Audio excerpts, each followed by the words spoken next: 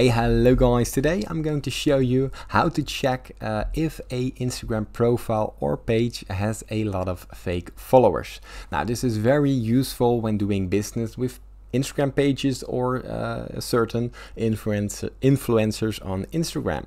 Now, it's a very easy process. I'm going to show you step by step. So let's get straight into it.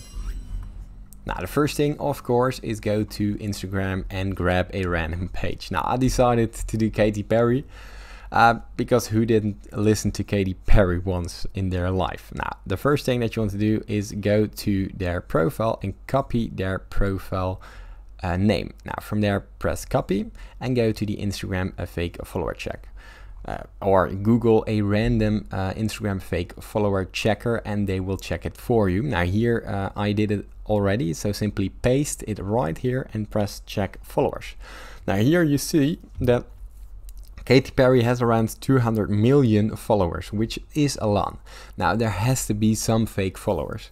Now as you can see there are 135 million real followers that are actually active and there's around 70 million with an inactive account and therefore those are uh, followers that are sleepers, uh, followers that don't ever use Instagram, or they are simply bots. And as you can see here, uh, we have the average versus the target uh, with some uh, nice yeah uh, graphics with some nice details to show to show and to check right here. Now it's very easy. Now you can do this for yourself and check if uh, any profile has fake followers.